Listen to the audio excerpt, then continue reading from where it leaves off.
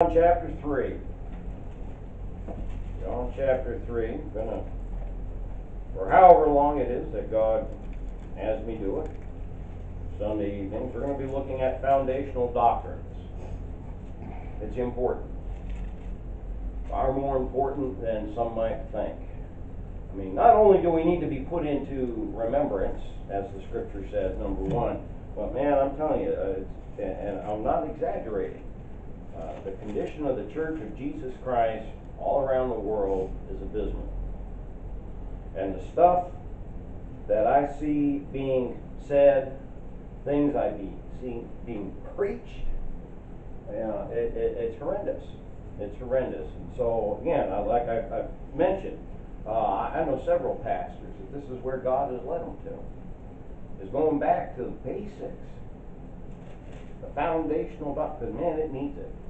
It needs it. And so that's where we're going to be. And the subject is going to be eternal security. And it's going to be more than one message on that one. Right now, John chapter 3. And in John chapter 3, we're going to be reading verses 14, 15, 16, and verse 36. Let me read that and we'll pray and, and I'll share with you what God's given to me. John chapter 3, beginning at verse 14. And as Moses lifted up the serpent in the wilderness, even so must the Son of Man be lifted up, that whosoever believeth in him should not perish, but have eternal life. For God so loved the world that he gave his only begotten Son, that whosoever believeth in him should not perish, but have everlasting life. And then the last verse in the chapter, number 36 He that believeth on the Son hath everlasting life. And he that believeth not the Son shall not see life, but the wrath of God abideth on him. Our Heavenly Father. Lord, you wouldn't think, Father, after 2,000 years of having the gospel of Jesus Christ, 2,000 years of having the Bible as a complete revelation, Lord, that churches would have to be hearing such foundational doctrines. But Lord, we need it just as much, if not more so now, as it was in the first century. Lord, and so I pray, Lord, uh, for those that are here tonight to hear the message, Lord, let it bless their hearts, and strengthen and encourage them. And Lord, as you've blessed us with the ability to reach well beyond, Lord, these four walls, Lord, that we have the privilege of meeting in, Lord, indeed, Father, uh, around the entire globe. Lord, we pray, Father, this will be a blessing and an encouragement to many. Get glory to thyself. And we pray and ask it in Christ's name. Amen. Now, I've had to deal with the topic of assurance of salvation and eternal security many times over the years. Uh, the very first time I remember was when we were in our first church up in Limestone, Maine, and we had a, a, a couple that were also in the Air Force with us at the time, and uh, the fellow who was the song leader for the church was having a crisis of faith. He, he, he wasn't sure he was saved. He didn't, here's to get it, didn't feel saved. And that's, you know, I mean, saw uh, post up this week about a fellow going on about how, you know, six years ago, you know, my heart got convicted and I walked down the aisle and I went down and, you know, I prayed what he called the sinner's prayer or trusted Christ as my Savior. Said, but for six years I've never had the assurance of salvation. I've prayed that prayer many times again and again and again. I didn't feel saved.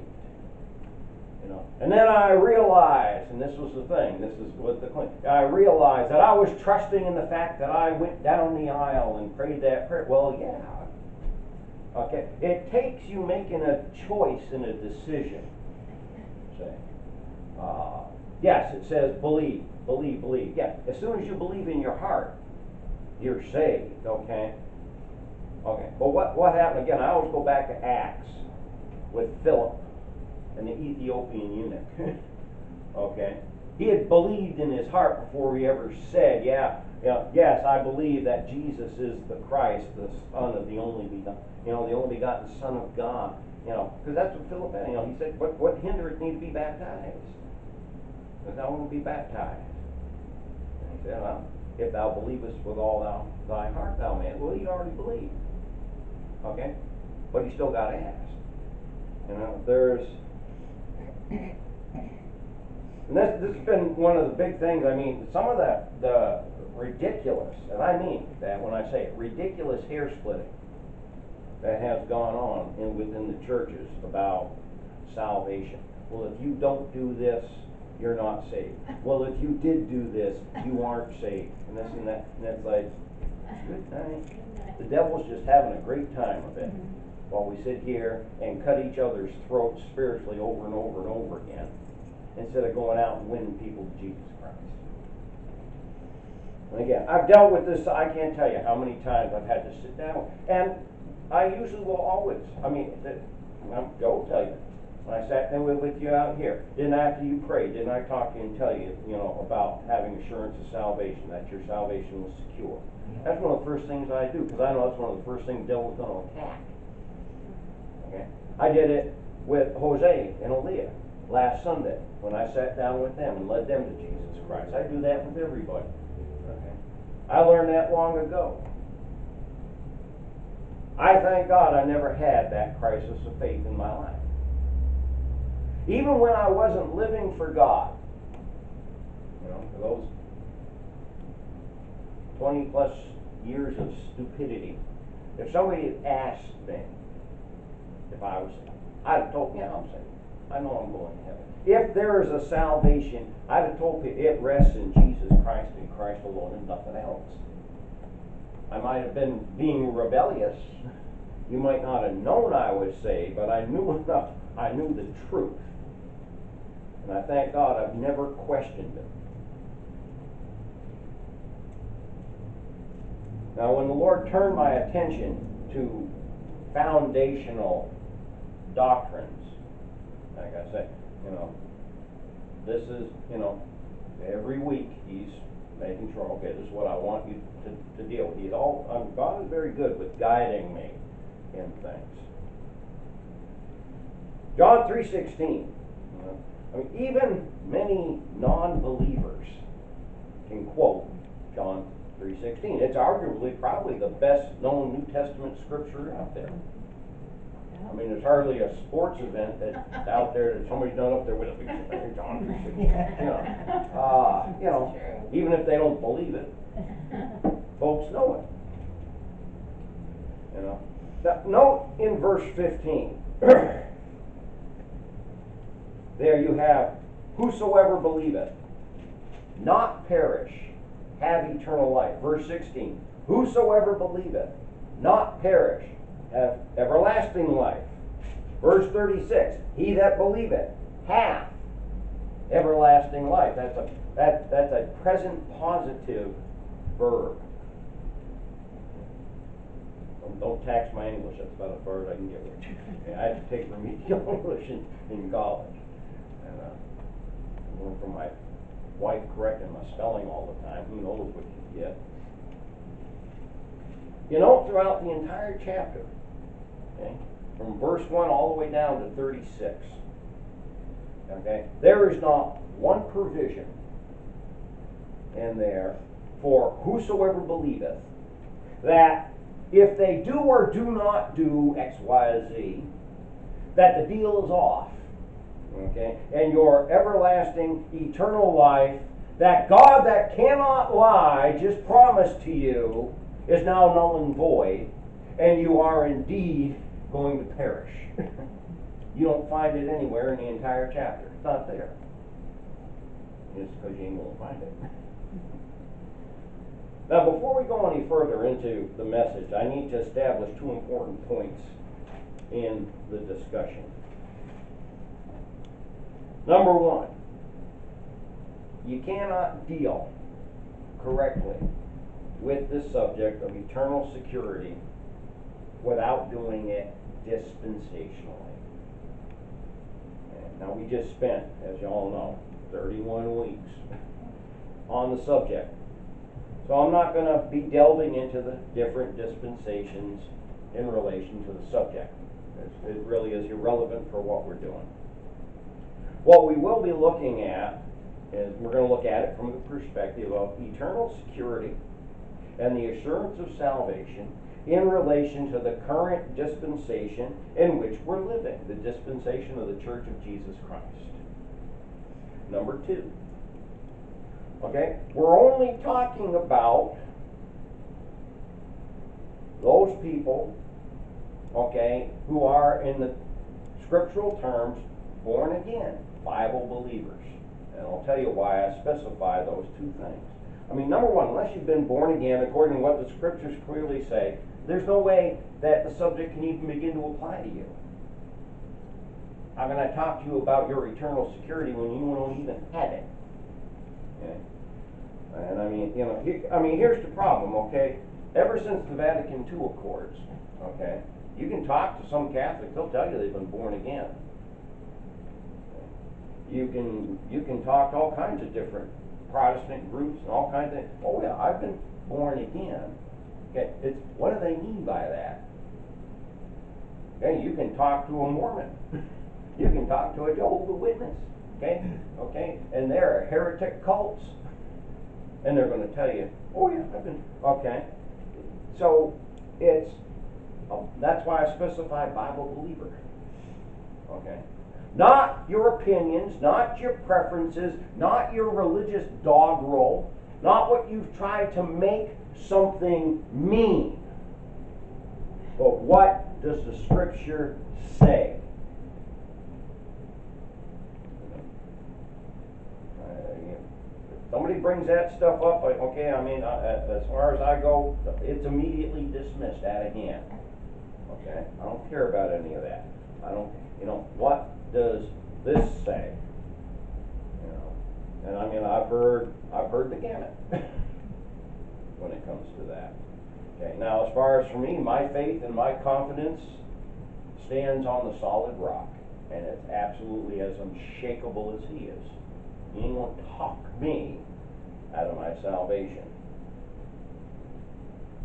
And quite frankly, I don't waste one moment of time in arguing with fools. Remember that term, it's gonna come up in a little bit. Matthew seven six says, Give not that which is holy unto dogs, neither cast ye your pearls before swine, lest they trample them under their feet and turn again and rend you. Now, the honest inquirer, somebody who truly wants to know or has an honest question, I will always spend time with them.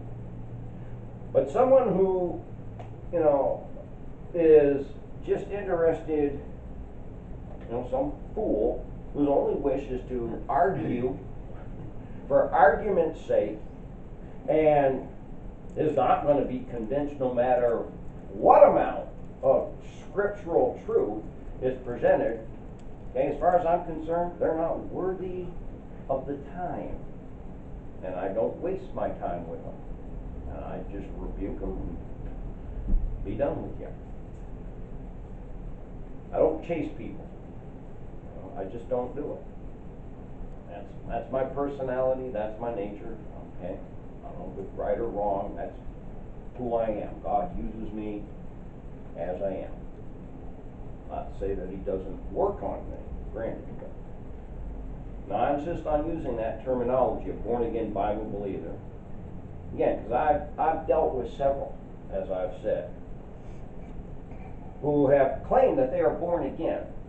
But you're gonna find, when you question them further, they either cannot, or in most cases, will not give a biblical description of their salvation experience, of their new birth.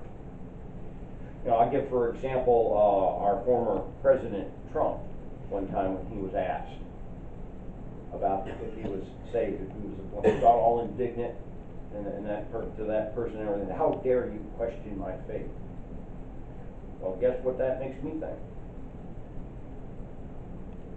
Somebody asked me about my salvation, let me tell you.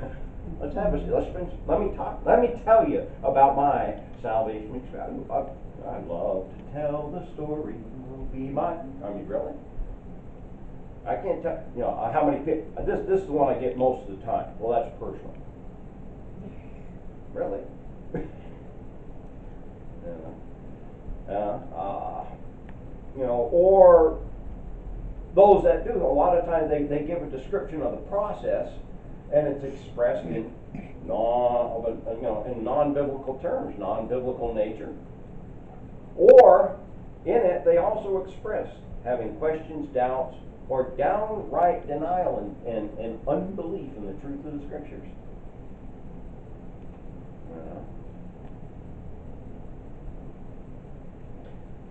Like I say, folks, I've been in 44 years, I've had a lot of conversations with a lot of people, and I've heard a lot of stuff. That's why I say it's entirely pointless to discuss eternal security and assurance of salvation with someone who has not been born again according to the words of God. And that's why I, I insist on in what we're talking about here okay, has to apply to somebody who has been born again, who has been redeemed, who has been washed in the blood of the Lamb according to this book. That's why I say Bible believer. You don't believe you have the Word of God? then how did you get saved?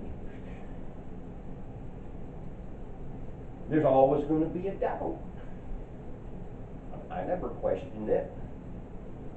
I mean, even as a Roman Catholic, I believed that I had God's words. Uh, I didn't happen to have a copy of God's words at the time, but it's like I tell folks, you know, it's amazing how the Holy Spirit helps out the new believer.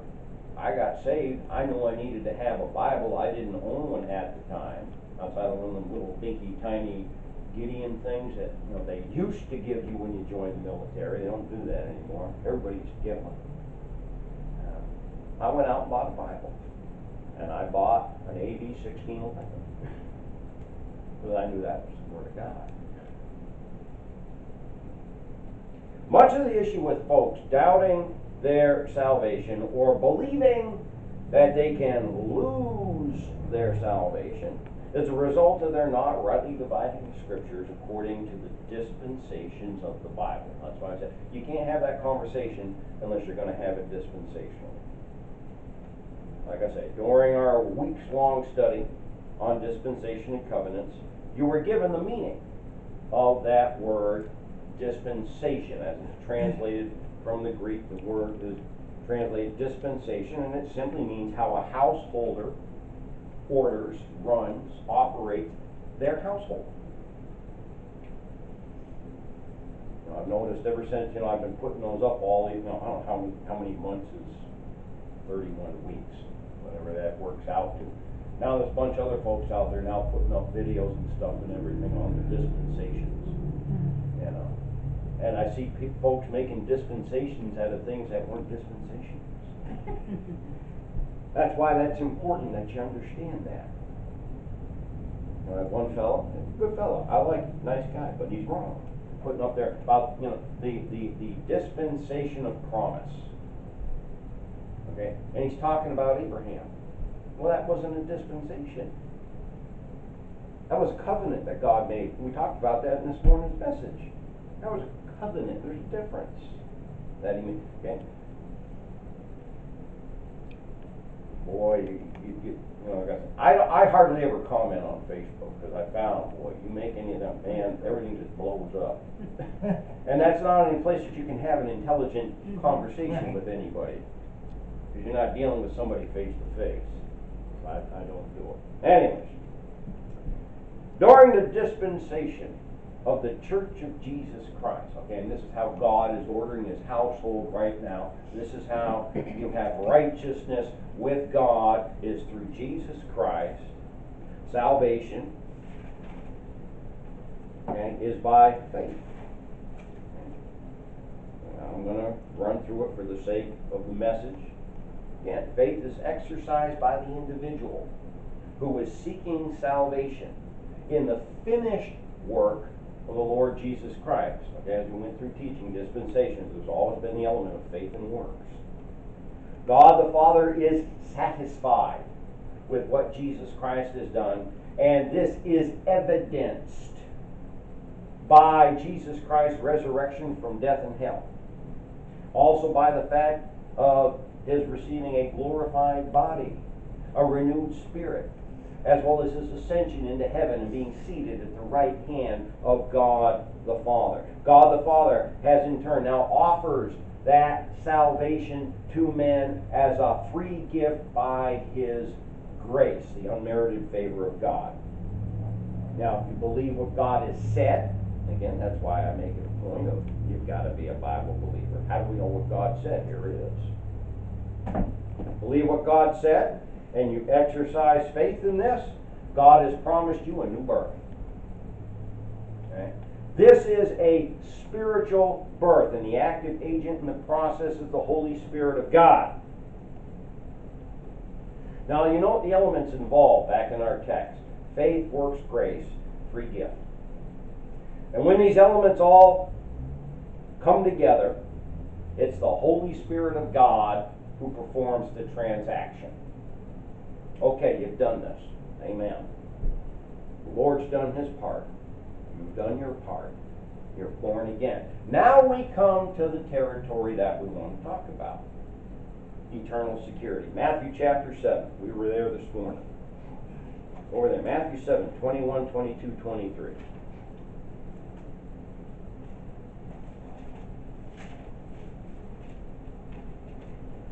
Matthew 7, 21, 22, 23. Not everyone that saith unto me, Lord, Lord, shall enter into the kingdom of heaven, but he that doeth the will of my Father, which is in heaven. Many will say to me in that day, Lord, Lord, have we not prophesied in thy name? And in thy name have cast out devils, and in thy name done many wonderful works. And then will I profess unto them, I never knew you. Depart from me, ye that work iniquity. A lot of folks will go to this and say, see, you can lose your salvation.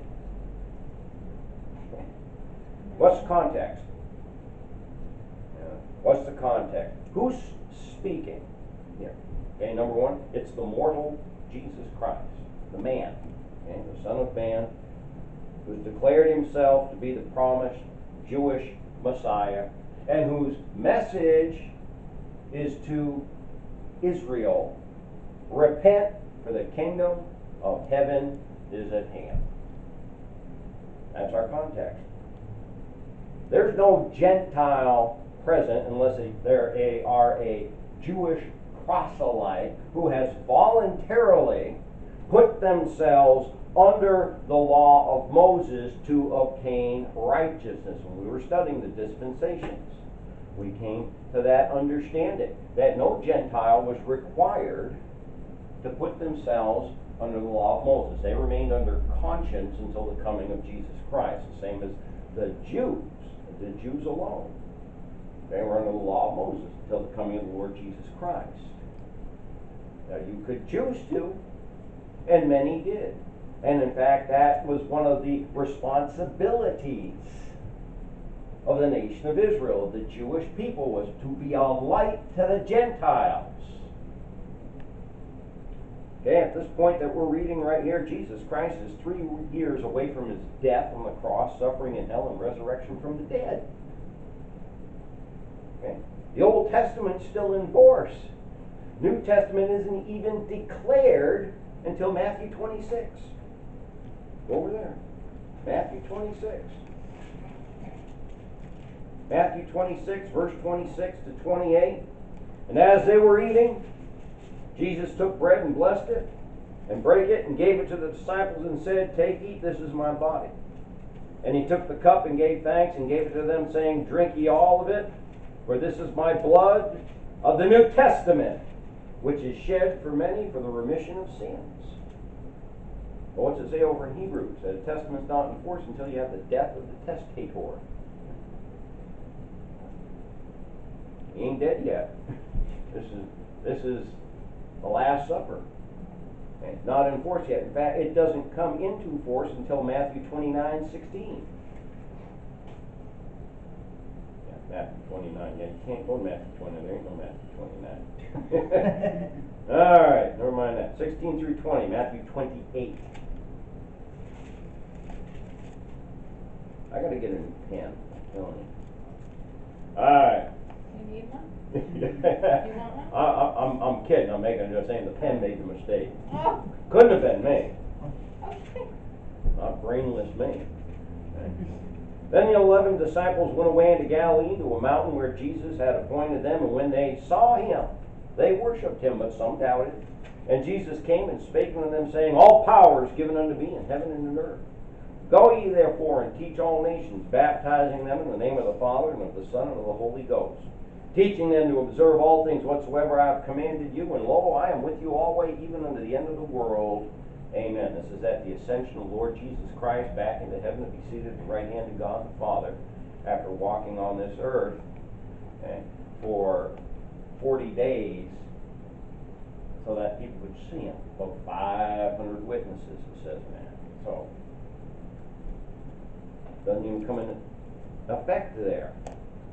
Nobody, nobody's called a Christian until Acts 11:26, where it says they were called Christians first in Antioch. That is several years after Jesus Christ's ascension into heaven.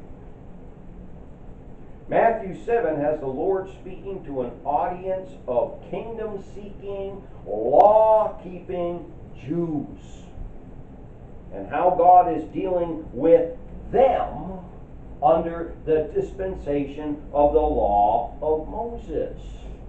You can't make that apply to a born again Bible believer. But they do, because they can't rightly divide the word of truth. Well, I don't think you can cut the Bible up in a bunch of, And it ain't all written to you, I'm sorry. I've heard people say before, quit reading other people's mail. It's not written to you. You can't make it apply to you. You're not gonna find one reference to any born-again individual who's been redeemed because they're believing in the finished work of the Lord Jesus Christ over there in Matthew chapter seven. I mean, that's still three years away he even goes through Calvary.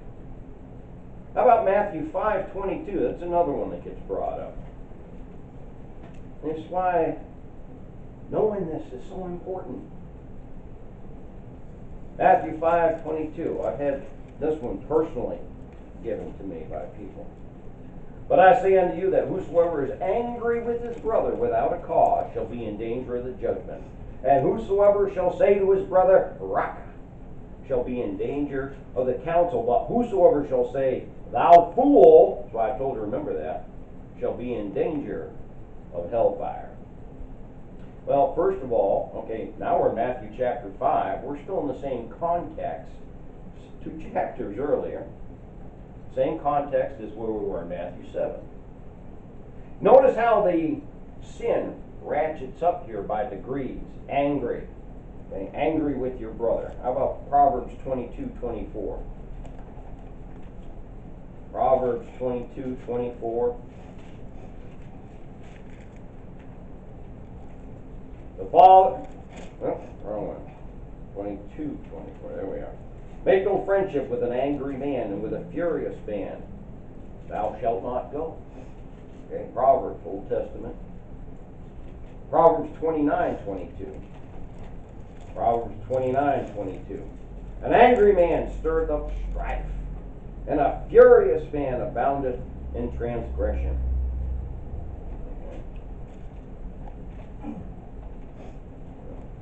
anger with his brother without a cause, okay? You can be angry, okay? Bible says be angry and sin not. There are right, there, there are right reasons that you can be angry. Don't let it become sin. But then it ratchets up to calling, saying somebody, well, what does that mean? Well, if you take it as a literal translation out of the Hebrew, it means that something that's mixed or mingled. So what are you saying to somebody, okay? You're, you've got a confused, mixed up mind, is what you're saying. Okay? That's going one step beyond just being angry. Now you're name calling. Then it says, you know, oh, well, thou fool, the danger of hellfire. You know? Why? Why, why does he say